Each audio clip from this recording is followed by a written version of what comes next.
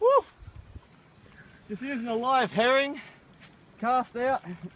It started taking off, and it's a nice sized trevally by the looks of it.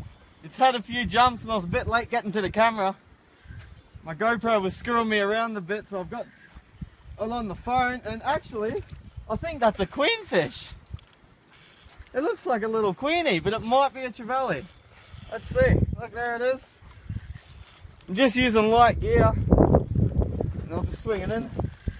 Where'd you drop them lip grips, Tom? Can you grab that? I think it's a queenfish.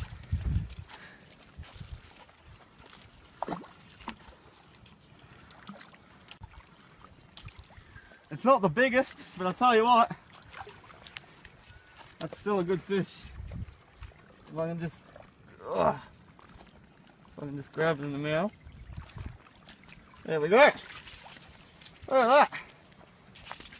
These are the Mustad, the Mustad titanium lip grips from Wilson Fishing. I'll tell you what, that's a nice fish. Not a monster, still a great fish. Awesome fun too.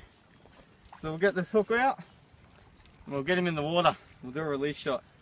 Awesome.